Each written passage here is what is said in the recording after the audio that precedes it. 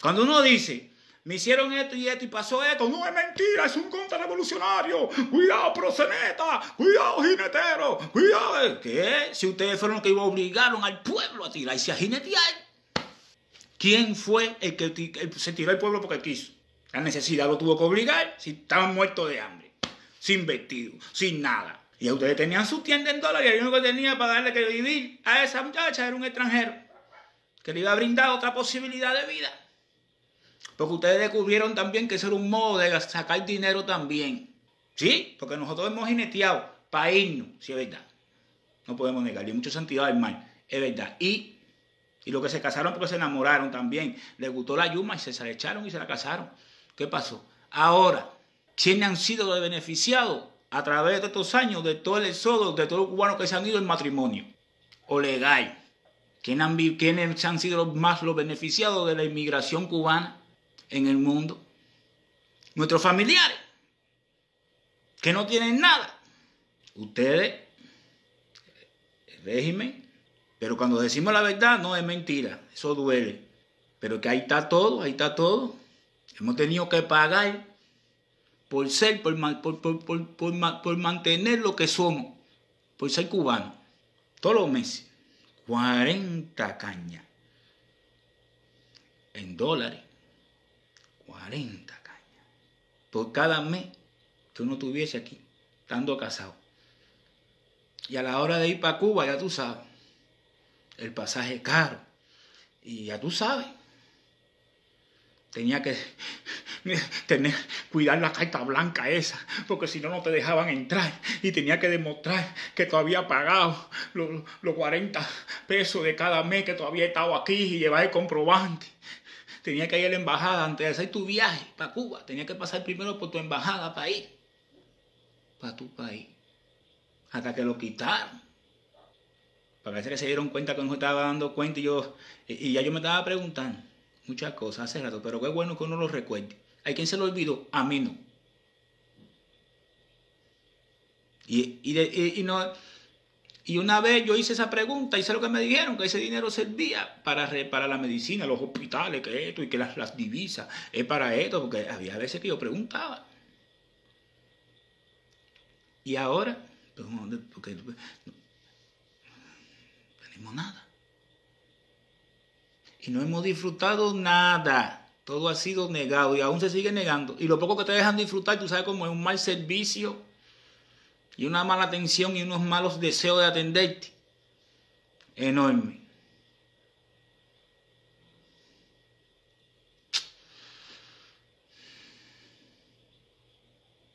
Así mismo es, los chicharrones, los ciruros. Pero bueno, por favor, allá tú con tu problema. Yo tengo mi conciencia tranquila. ¿Viste? Yo sí no tengo que salir en redes sociales a defender a nadie. Yo defiendo mis derechos, que son los derechos de los que están en la isla. Pero yo no defiendo a ningún sistema, ni a ningún gobierno, ni a ningún partido. Yo solo defiendo a mis paisanos, a los que sufren, como yo. Entonces, no me vengas con tu parecer inútil, ni con tu comentario lleno de incoherencia, ni de ofensa, porque ante tanta verdad, nada puede ofenderme en estos momentos. Nada. Así que no tengo más nada que decirte a ti. Cuídate. Solo te digo que el tiempo es testigo de todo lo que yo digo. Porque la verdad está ahí.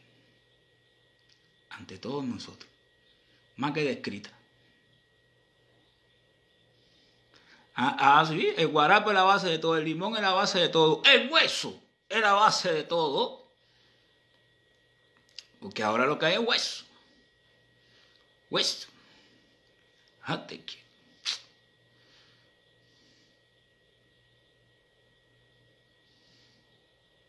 toda una vida, así mismo es Víctor, toda una vida es abusando de nosotros nada más.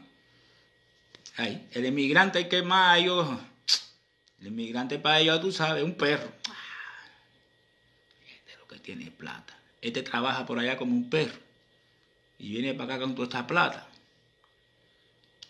Chupa, ese es para chupar, vamos a comprar chupársela. Él tiene sus planes, pero aquí los planes no. Aquí hay cemento para conseguirlo, hay candela y para construir, tú sabes, sujétate. Construir, tú sabes. Pero bueno, por ahí ya tú sabes, menos mal que yo no compro nada de allá, porque café aquí hay, cigarro aquí hay. Ron, yo no tomo ron, yo no tomo cerveza. Ya, ya lo único que yo extraño es a mi familia, porque producto, nada. Yo no compro nada. Porque nada de eso me gusta. Vaya, lo que ustedes venden realmente, mira, a mí no me gusta. Mira, el ron no me gusta. A mí no me gusta el ron. El tabaco es fuerte, hay que fumarlo, pero vale muy caro. Yo prefiero los cigarros normales. Eh, a ver, cerveza, yo no tomar cerveza. Marta, aquí también venden Marta holandesa, que también fabrica Marta, Holanda. Y son buenas igual.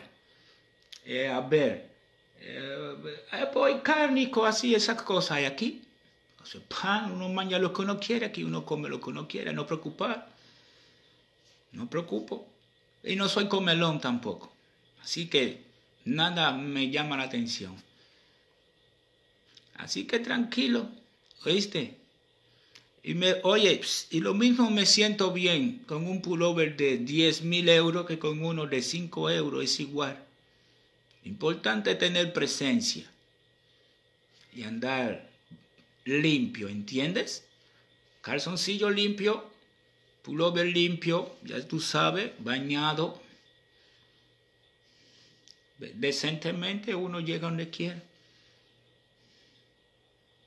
¿Oíste? Así mismo, el café colombiano es buenísimo. Y hay otra competencia hay más cosas. Que dejen de invento. Que Cuba solamente no es tabaco, no es tabaco, café, ron, tropicana, playa, jinetero, jinetera, borracho, conga y bembé, y cantante y bailarines. Cuba es mucho más que eso, y, que, y es mucho más que el comunismo ese. El comunismo es verdadero atraso que hay.